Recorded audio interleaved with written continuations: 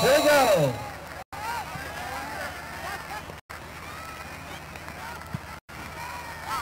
Yeah, so I feel like the longer you look around, the fewer options there are. Correct. Right? and the more pressure you're suddenly under. Also, way to know fewer.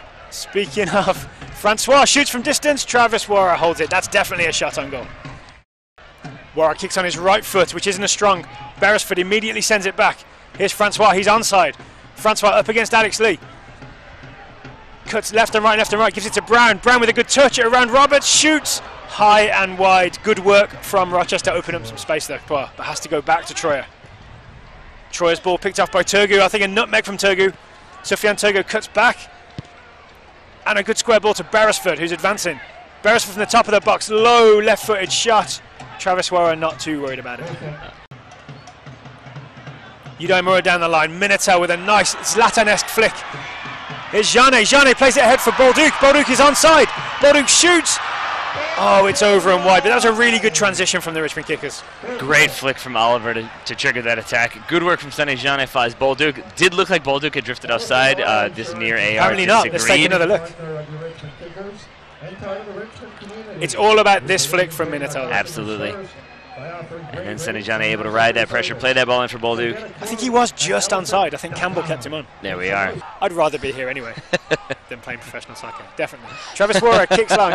Minutillo holds off the defender. Mikey Minutillo takes on the chest and a dribble and shoots and it's in the back of the net. Mikey Minutillo has come off the bench to make it 1-0 Richmond Kickers. And it's exactly what you said, Daryl Grove. It's a big counterattack, big presence from Mikey Minutillo. Holds off one defender, does really well to keep track of the ball, and really well to slide to the back of the net. 1 0 to the Richmond Kickers. Leigh Cowlishaw celebrates and then reminds his players maybe not to lose it too much. Focus, focus, focus. Yes, sir. That goal presented by Draper Aden. Well done, Mikey Minutillo. Anytime you can come off the bench and score that type of goal against the run of play, pull your team back into it and give them the lead, you got to be happy. It's Mikey Minutillo's second goal for the Richmond Kickers. I think it's going to be a Travis Worra assist as well. you can see Minutillo using his strength to hold off Campbell.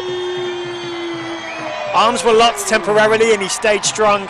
Got basically just a side foot finish in the end. To the right. There it goes, and while it's in the air, the referee blows the whistle. It finishes 1 0 to the Richmond Kickers at City Stadium in the penultimate home game of the season for the Kickers.